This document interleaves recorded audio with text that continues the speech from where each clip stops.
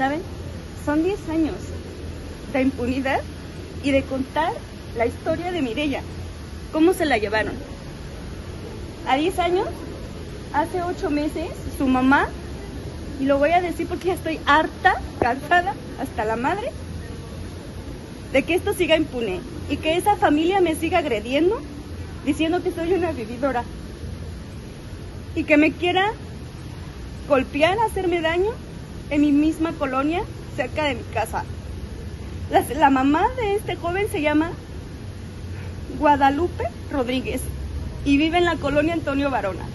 Y su hijo, Alfredo Rodríguez López, quien era novio de Mirella y que según él amaba, y a él se le desapareció. A él se la quitaron. No puede ser que en cinco minutos se hayan llevado a mi hija y que él no sepa nada. Y que a diez años, después de que la amaba, ahora Mirella es prostituta, era prostituta, era drogadicta. Después de que la amaba, ahora él dice eso.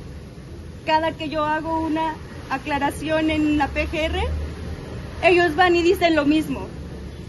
Cuando me agredieron, la señora dijo, yo puse la denuncia y dije lo, que ella me había dicho, que yo sabía dónde estaba Mirella, que yo iba a verla a México cada ocho días y que la PGJ había pruebas de celular, de, llamadas.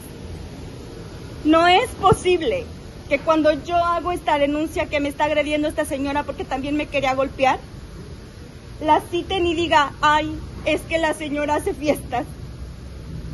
Cada ocho días contrata banda y tríos. ¿Cómo es posible que solo le acepten esa declaración? ¿Y mi hija qué? ¿Y el momento qué? Casi choco. Casi pierdo la vida junto con mi otra hija. ¿Y esto qué?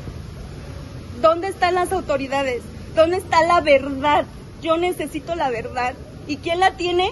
Alfredo Rodríguez López y su familia.